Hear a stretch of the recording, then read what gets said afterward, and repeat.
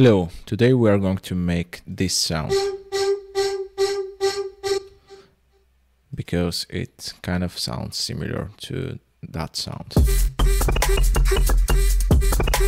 From Skrillex, Joker and Sleepnet's super cool song Tears. Nine days ago, it says here in this YouTube video, I uploaded a video of how to make the percussive bass in that song. And I got a comment, thanks a lot, I would really like a tutorial for that vocal key sound in that drop.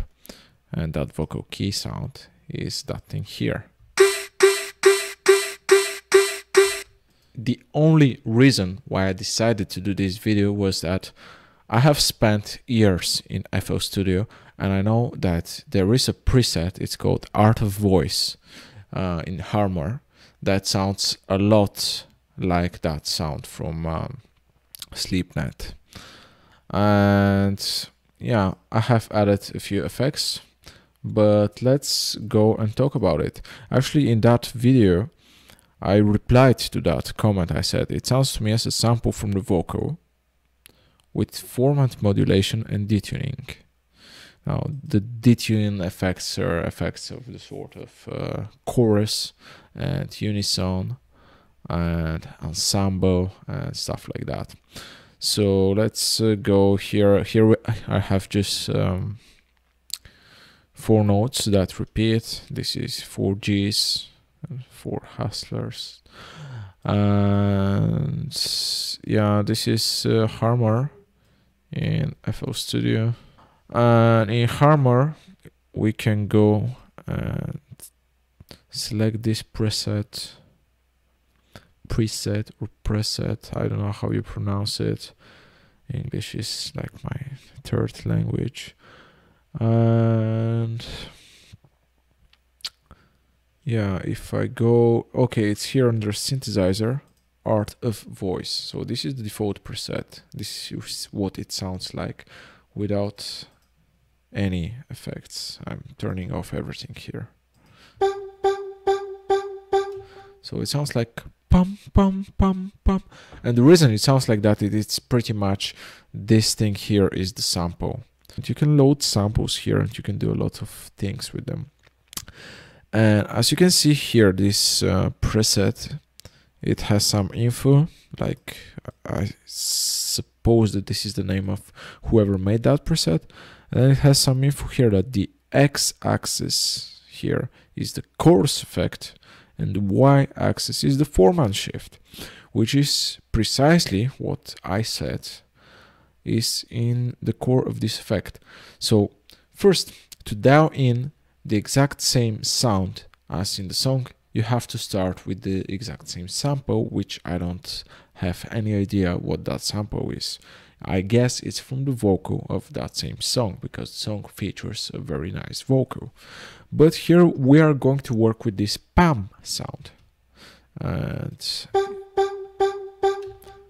if I move this x-axis here, it's adding the chorus effect.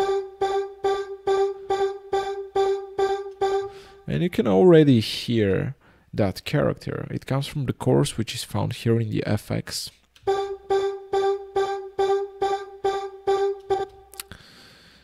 And here we have an envelope that I'm going to change a little bit. I'm going to modulate it.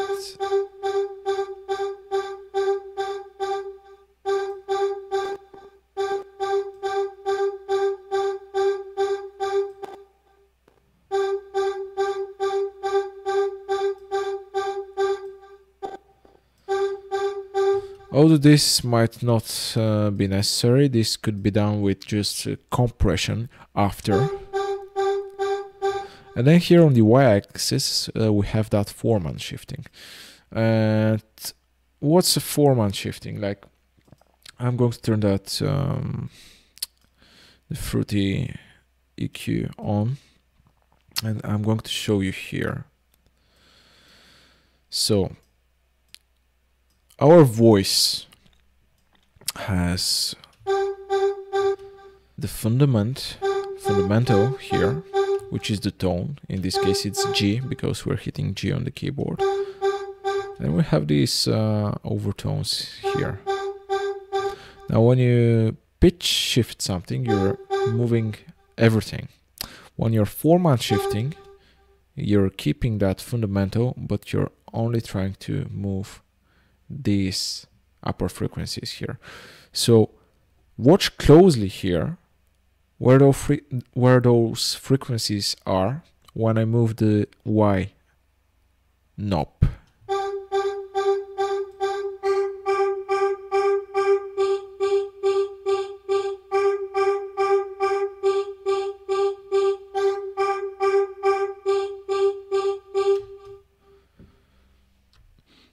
And this is going to be even clearer if I turn down the chorus and I only move the formant.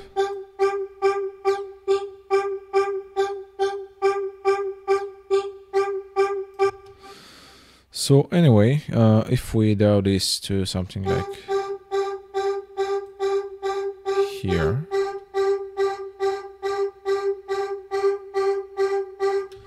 we are going to get this effect. And now the rest of the sound is pretty much distortion and we have really nice distortion effects here. Uh, the distortion is here. Um, I'm actually going to turn down the feedback of this delay and the dry wet.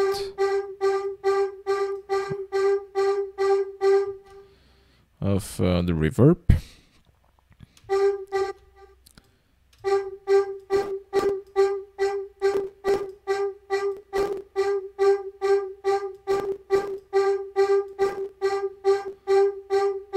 Play a little bit with the settings of the chorus.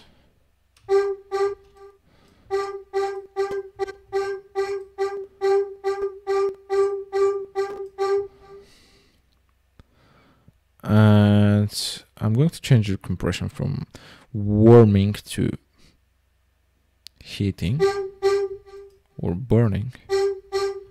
Yeah, I like that. We can turn the high high a little bit.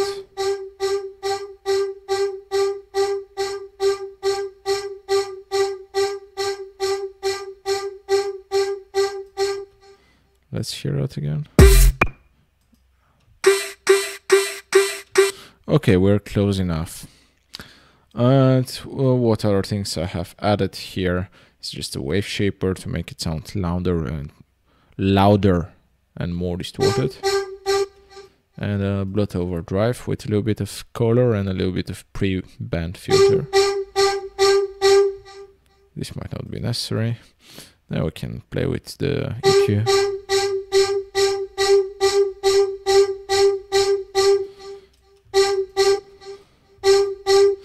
And this is pretty much how to do that sound. You can do it in any other uh, program that supports formant shifting and chorus.